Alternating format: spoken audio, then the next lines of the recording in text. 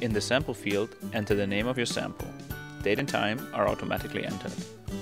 Enter 1 part sample and 99 parts water for the dilution and 1 to 1 for the sample's mix ratio of coloring agent. Include whatever you would like in the comment section. We recommend where the sample was taken from, the type of yeast, and the generation of the yeast. Click Next to view your results.